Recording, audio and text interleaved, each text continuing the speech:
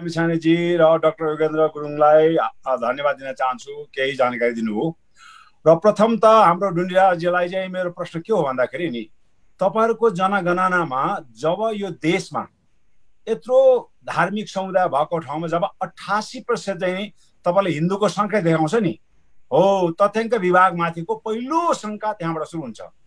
अब त्यो धार्मिक सङ्ख्यामै तपाईँले गडबड गरेपछि त्यहाँबाट त भाषामा गऱ्यो कि त्यसपछि जाति समुदायमा गऱ्यो कि भन्ने शङ्का उत्पन्न गर्दै जान्छ त्यही कारणले चाहिँ ढुन्डियाजीले चाहिँ के भन्नु पर्यो भन्दाखेरि नेपालमा अठासी प्रतिशत हिन्दूको सङ्ख्या के आधारमा कहाँ कहाँ चाहिँ हिन्दूको सङ्ख्या कसरी देखियो भन्ने कुरा चाहिँ अलिकति बन्नुपर्ने हुन्छ होइन भने अब पनि फेरि अठासीको ठाउँमा नब्बे प्रतिशत चाहिँ सङ्ख्या आयो भने त्यो चाहिँ हाम्रो लागि चाहिँ असाध्यै घातक हुन्छ जस्तो मलाई लाग्छ। त्यही कारण पहिलो के अरे आशंका चाहिँ यहाँबाट हुन्छ।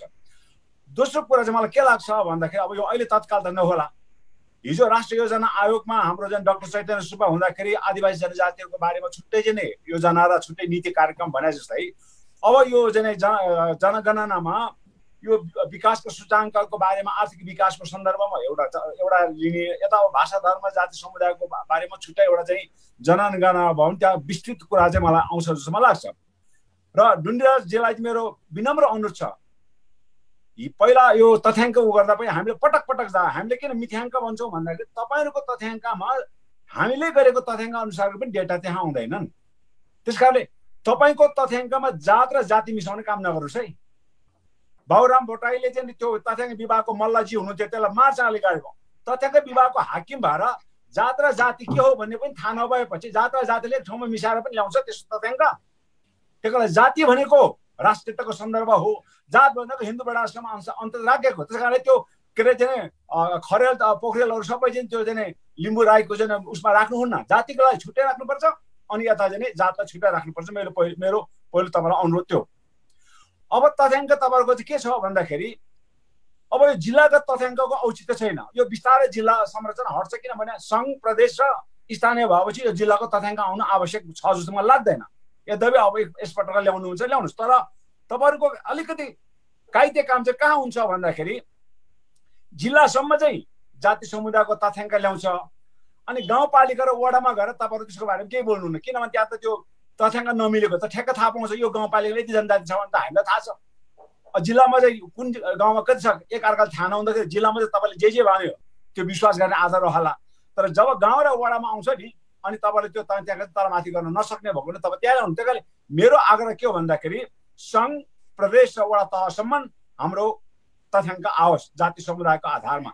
जातको छुट्टै अनि जातको जातिको छुट्टै त्यसरी आउनुपर्छ जस्तो मलाई लाग्छ। अर्को चाहिँ यो जस्तै कृषिको कुरा गर्नु छ होइन? त्यस्तै अब के अरे महिलाको ज्येष्ठ नागरिकको कुरा गर्नु छ महिलाको कुरा त्यो भित्र खण्डित नागरिकता आउनु पर्यो। जस्तै ज्येष्ठ नागरिकमा कतिवटा आदिवासी जनजाति छन् कति मधेसी छन् कति दलित छन् यो आउनु पर्यो।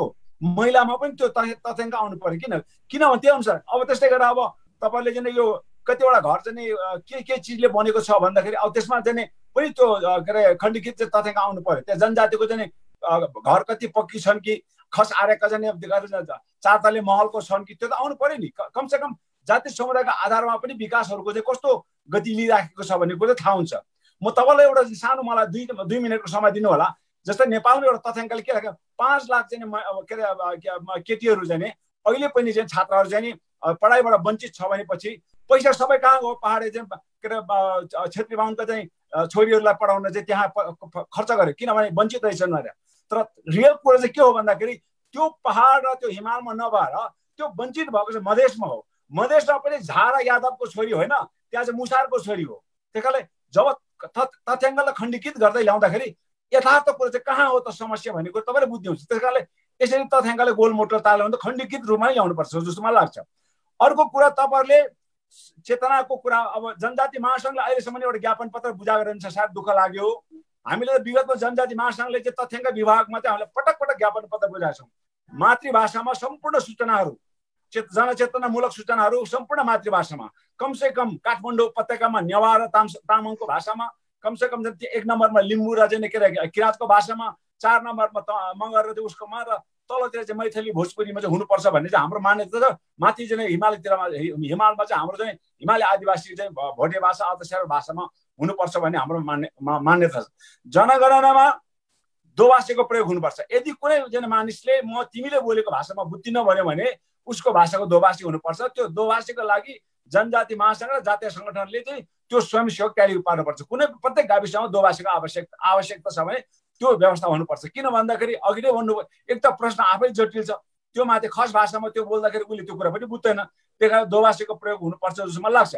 तपाईँहरूको नौ हजार चाहिँ सुपरिवेक्षक र त्रितालिस हजार गणकमा कुन कुन जाति समुदाय कति कति छ त्यो पनि ल्याउनु पऱ्यो नि। होइन? त्यो कति समावेशी छ भन्ने कुरा ल्याउनु पऱ्यो नि। त्यो हिजो पञ्चायत कालमा जस्तो बुद्धिमान तामाङलाई चाहिँ ल्याएर चाहिँ सबै जनजाति कतिपल्ट छ भन्ने अनि के अरे उसको हिराल विश्वकर्मालाई सबै चाहिँ दलितको छ भन्ने खालको चाहिँ समावेशी हामीलाई चाहिएको छैन। त्यस कारणले त्यो त्रितालिस हजार र नौ हजारभित्र चाहिँ जात जाति समुदायको प्रतिनिधित्व कस्तो छ भने त्यो पनि आउनु पर्यो अर्को चाहिँ मलाई के लाग्छ भने विदेशमा रहेका साथीहरूको हकमा तपाईँहरूले चाहिँ यहाँ केही मान्छेले भर्ने कुरा गर्नुभयो। तर मलाई के लाग्छ भने विदेशमा रहेका साथीहरूले पनि आफ्ना चाहिँ तलबाट घर मूल्यहरू यदि विदेशमा छन् भने तलैबाट चाहिँ त्यो चाहिँ आफ्नो चाहिँ राजु एम्बेसी मार्फत त्यो चाहिँ जनगणना चाहिँ बुझाउने एनआरएनलाई चाहिँ लिङ्क गरेर चाहिँ पठाउँदाखेरि त्यो बढी यथार्थपरक होला जस्तो मलाई लाग्छ। र अब एकछिन दुई मिनट गोविन्दजी। अब हाम्रो जनजाति सङ्गठनले के गर्नुपर्छ भन्दाखेरि नम्बर वान यहाँ शङ्कास्पद कुरो के छ भन्दाखेरि त्यो फारम हामीले भने जस्तो भर्दैन। त्यस कारण त्यो फारम आफूले भरेको भरेको फारमको फोनमा फोटो खिचेर राख्नु पऱ्यो। पहिलो कुरा विदेशमा रहेको सबै परिवारको नाम र सङ्ख्या उल्लेख गर्नको लागि तपाईँहरूले उ गर्नु उ गर्नु पर्यो विशेष गरी चाहिँ पहल गर्नु पर्यो अब त्यसपछि अब हाम्रो के अरे जिल्ला चाहिँ मेरो कुरा के भन्दाखेरि शङ्का कुरा कहाँ छ भन्दाखेरि अघि तथ्याङ्कमा मैले एउटा इक्जाम्पल तपाईँलाई दिइहालेँ। अब शङ्का कहाँ छ भने फर्म भर्दाखेरि त्यो फर्म तपाईँले देखाउँदैन। तपाईँको गणकले त्यो त्यो फर्म चाहिँ आफूतिर फर्काउँछ। कहिले पनि त्यो चाहिँ आफ्नो के अरे तथ्याङ्क भन्ने मान्छेसँग चाहिँ देखाएर उसले भर्दैन। त्यो देखाएर भर्नुपर्छ भन्ने मेरो पहिलो पहिलो मान्यता। अर्को चाहिँ समस्या के भन्दाखेरि हामीले त भन्यौँ त्यो फार्म नै डाइरेक्ट फोटोकपी जस्तो झ्याप्पै राख्ने बित्तिकै त्यसमा भएको तथ्याङ्क चाहिँ सर्ट चाहिँ प्रोसेसिङमा जाने सिस्टम हुनुपर्छ भन्यौँ।